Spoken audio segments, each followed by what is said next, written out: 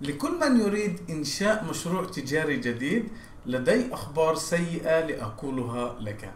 الإحصائيات العالمية تقول من بين عشر مشاريع تجارية تنشأ فقط واحد سينجح. هذه حقيقة مرة نعيشها خلال السنين الأخيرة. وفي هذا الفيديو سأطلعك على ستة عوامل لتكون أنت من فئة المشاريع الناجحة والتغلب على المنافسين بسهولة.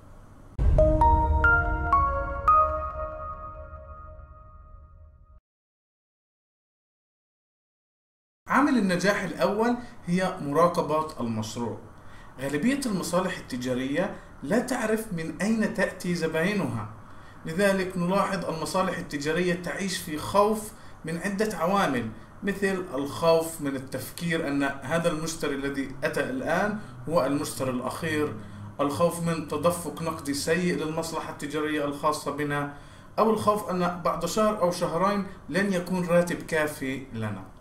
يجب على المصالح التجارية التغلب على الشعور في العجز وعدم السيطرة والحل هو مراقبة كل شيء يحصل في مشروعكم. من أين تأتي غالبية المشترين؟ من أين تأتي أفضل المشترين؟ ما هي الطريقة الأكثر فعالة لجذبهم لمشروعي أو لمصلحتي التجارية؟ إذا اكتشفت أن غالبية أفضل المشترين لمشروعك تأتي من منصة إعلان معينة ركز على هذه المنصة ولا تتوسع لمنصات أخرى. لذلك دائما راقبوا وتفحصوا من أين تأتي غالبية المشترين. وركزوا عملكم هناك لتحسين ظهوركم وزيادة عدد المشترين لمصلحتكم التجارية. العامل الثاني هو الإعلان المباشر. غالبية المصالح التجارية تعلن مشاريعها ولكن دون جدوى ودون أي نتيجة لأنها رأت إعلان لمنافس معين ستنسخ منه الفكرة وهي تظن أن إعلانه ناجح وهذا خطأ. على المصالح التجارية اليوم العمل على إعلان مباشر. الإعلان المباشر مبني من نتائج مباشرة وقابلة لدراستها. يمكن الرؤية نتائج الإعلان أيضا خلال فترة قصيرة ومعرفة إذا الإعلان ناجح أو لا. على العكس الإعلان العادي الذي يتطلب الكثير من الوقت لمعرفة نتائجها. لذلك لا تهدروا أموالكم على إعلانات لا يمكنكم مراقبة أدائها. ركزوا على إعلانات مباشرة. منصات مثالية لإعلانات مباشرة هي فيسبوك أو جوجل أو إنستغرام. عامل النجاح الثالث هو تطوير سمعة مشروعكم. لقد ذكرت في أول الفيديو الجملة أن أصحاب المصالح التجارية لا تعرف لماذا المشترين تأتي إليهم وهذا صحيح لذلك عليك التوقف للحظة ومعرفة لماذا المشترين تأتي إليك هل لأن خدماتك رخيصة الثمن؟ هل لأنك الأفضل بالمجال؟ أو هل لأنك قريب لبيتهم؟ عند معرفة السبب تبدأ في العمل على تعزيز هذه السمعة أو الصفة التي نسبت لمشروعك وتوسيعها قدر الإمكان. عامل النجاح الرابع هو تحويل المشتري الجديد لمشتري ثابت أو مشتري متكرر.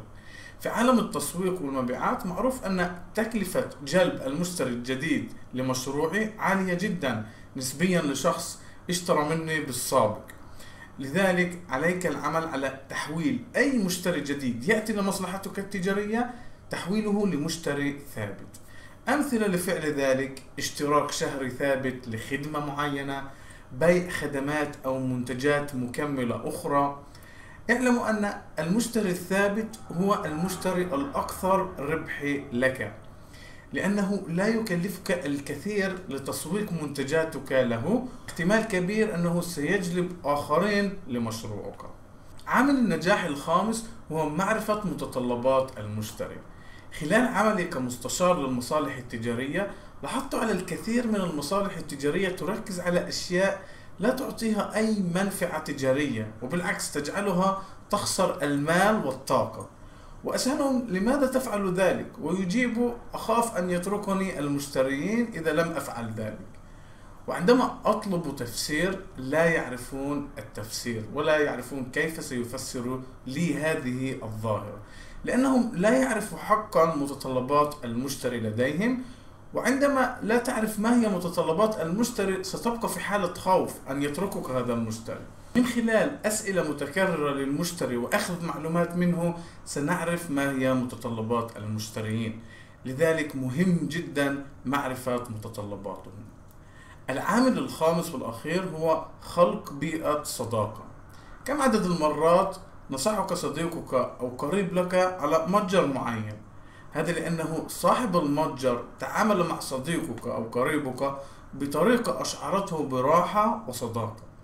لذلك دائما تأكدوا من معالجة احتياجات المشترين لديكم. تأكدوا أن يبتسموا.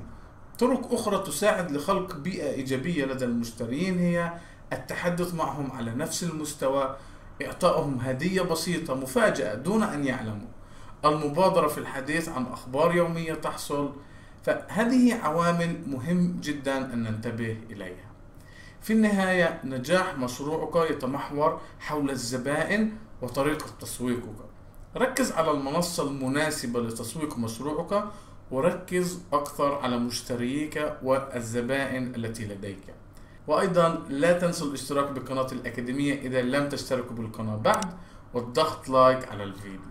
سأراكم في فيديو آخر.